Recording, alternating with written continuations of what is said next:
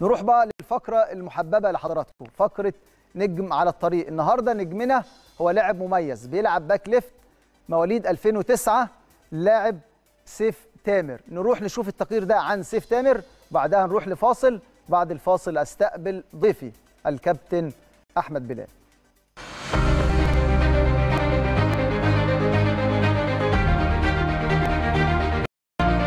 سيف الدين تامر لاعب النادي الأهلي مركزي باك شمال مو... و...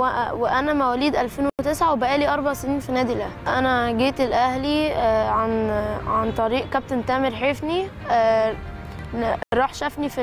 في الأكاديمية وخدني قطاع الناشئين أنا اتعلمت في الأهلي إن أنا أقاتل على الكورة وألعب لغاية آخر دقيقة وأحترم الفانيلا الحمراء بابا وماما. بيقولوا لي ما تعملش أي حاجة تضر وخلي بالك عن نفسك وخلي بالك من مستقبلك واعمل اللي انت عاوزه في مستقبلك. الكابتن ميدو ماهر بيقول لنا العبوا سهل عشان ما تتعوروش. أول لما أنا أجي أقول لكم حاجة حاضر وما تجادلوش وأول لما أقول لكم اعملوا حاجة لاز- لازم تنفذوها وأول لما تيجوا توعدوني تعملوا اللي أنتوا أنا جبت سالفه 8 تجوان. أنا نفسي أبقى زي علي معلول علشان هو بي... بيقاتل على الكورة وما بيستسلمش ابدا عالميا نفسي أبقى زي مارسيلو.